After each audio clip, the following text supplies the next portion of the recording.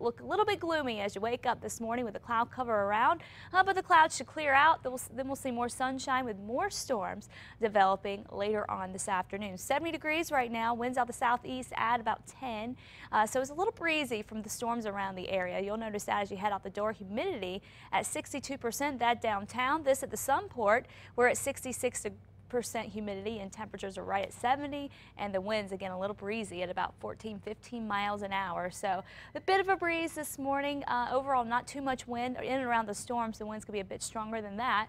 And as we go into the afternoon again those showers that are around now uh, will eventually move on out and fizzle out and then as we go into the afternoon more storms popping up along the central mountain chain northern mountains looking at some heavy rain and four corners looking better with the chances for some rain for today. As we go into tomorrow this high continues to press east east, and that's going to be more moisture moving into western and central New Mexico. And so we are going to start to see more activity as we head towards the end of the week and weekend, but especially next week. Next week, early next week, is when we really are looking good to pick up some much needed rain across a lot of the state, even out in the southeast and uh, the four corners where we have been missing out for the last little bit of time. Southern Colorado, partly sunny skies. Uh, we'll be watching for some scattered storms in this area, and we'll continue with storm chances all the way into the weekend and early next week.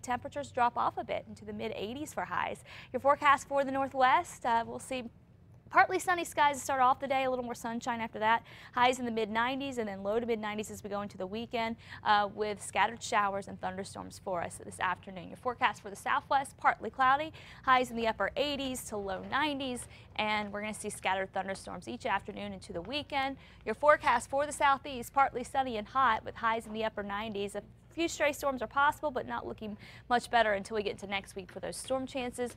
Northeast New Mexico, temperatures will be in the low to mid 90s uh, with increasing clouds today and more scattered storms. And for the northern mountains, thunderstorms once again today. Santa Fe looking at a decent chance to pick up more rain, and the weather stays unsettled into next week. East Mountains, low 90s with more mountain storms this afternoon. And for the metro, mid 90s for highs and we'll see the chance for a few more storms later on today. Seven day forecast showing uh, a storm chance to stick around through the weekend, but again, especially next week, looking pretty wet for us and a little cooler too.